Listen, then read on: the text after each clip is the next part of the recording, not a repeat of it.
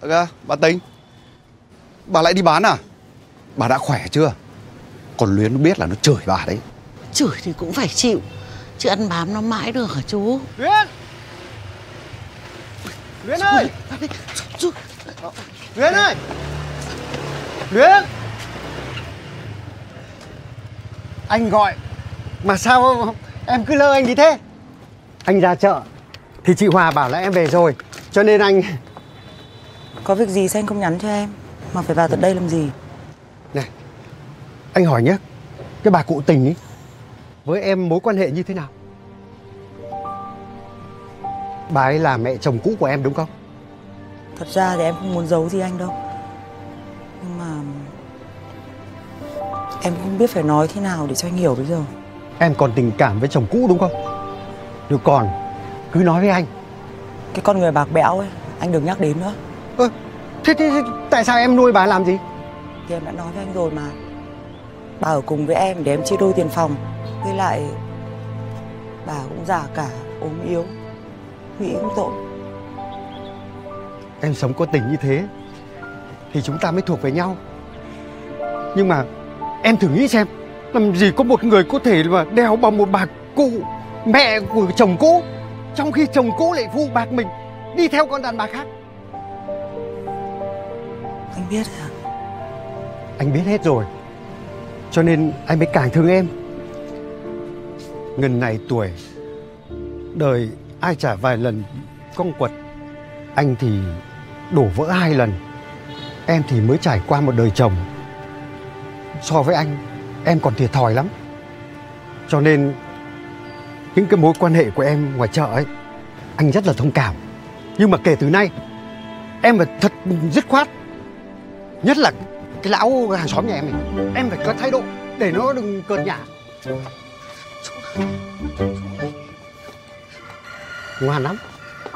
Ngoan thì cái gì cũng có. Nhưng mà Riêng các bà mẹ chồng cũ của em, Với cả họ hàng hang hốc của em Đang mưu sinh ở trên này, Anh không có đèo vào đâu. Anh nói như thế, Luyến giận anh cũng chịu. Mình phải thẳng thắn với nhau, Để đến khi Về sống chung một nhà Đỡ bỡ ngỡ anh nhỉ? Này Người ta yêu thương ai, chăm sóc ai Hay là ở với ai Là việc của người ta. Ông có liên quan đếch gì mà ông can thiệp vào hả? Việc của anh à? Đi về thôi anh. Đi. Này Đừng tưởng cậy có tí tiền rồi hứa hiêu hứa vượn nhá. Ông ấy là ông đi tuyển vợ để về phục vụ cho ông ấy. Phục vụ ai thì kệ tôi. Liên quan gì đến anh? Luyến Nghe anh nói cho mà biết này Ông này ấy Ông đi tuyển ô xin có danh phận Chứ ông yêu thương chó gì cô? Yêu thương cô ấy Thì ông phải yêu cả hoàn cảnh của cô. Hiểu chưa? Luyến Luyến. Luyến đừng nghe họ nói nói linh tinh. Tình cảm của anh em mình dành cho nhau như thế nào? Anh em mình biết nhỉ? Tình cảm của anh em mình Khắm. Anh Lưu. Anh đây. Anh quá đáng rồi đấy nhá. Anh không tôn trọng tôi cũng đừng có xúc phạm bạn tôi. Cái việc tôi đến với ai? Hay tôi yêu ai? Đấy là quyền của tôi. Sướng khổ tôi chịu. Anh giúp tôi nhiều. Tôi cảm ơn anh. Nhưng mà việc riêng của tôi, Anh đừng có can dự vào. Đúng. Thẳng thắn như thế là tốt. Đừng để họ ảo tưởng em ạ. Mình đi đi em.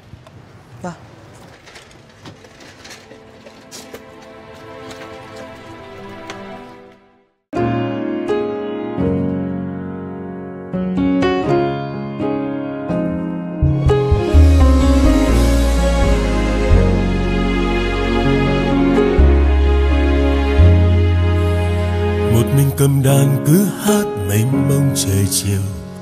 Một người ngồi vẽ chữ yêu, một mình trải lòng giữa chốn hoang sơ cỏ dại.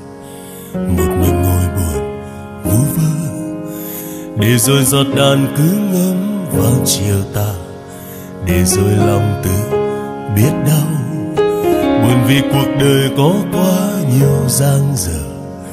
Buồn cuộc sống không chút bình yên. Chạy trốn. Bon trên ngày thường tìm về nơi thanh thang chỉ có ta. Ngồi hát bài hát riêng ta. Ai à ta viết cho ta ai à thời gian vẫn trôi. Ai à tình yêu đã qua. Ai à cuộc sống riêng ta chỉ dành cho ta. Ai à buồn đau chóng qua ai à tình yêu sẽ quay lại. Ai à hiên ngang lên sống cuộc đời của ta.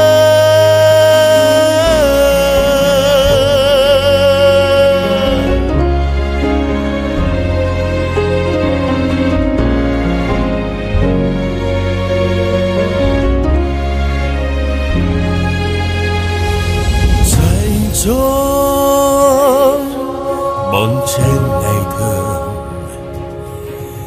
Tìm về nơi thanh thang, chỉ có ta. Ngồi hát, bài hát.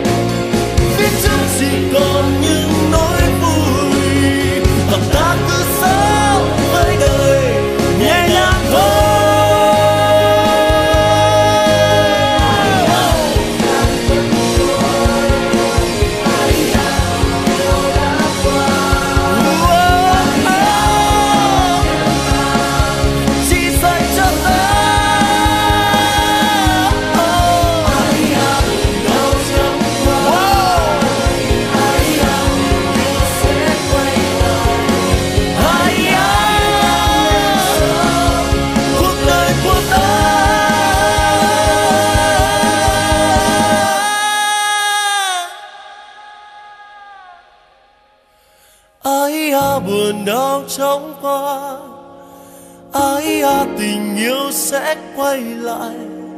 Ai à hiên ngang lên sớm, cuộc đời của ta.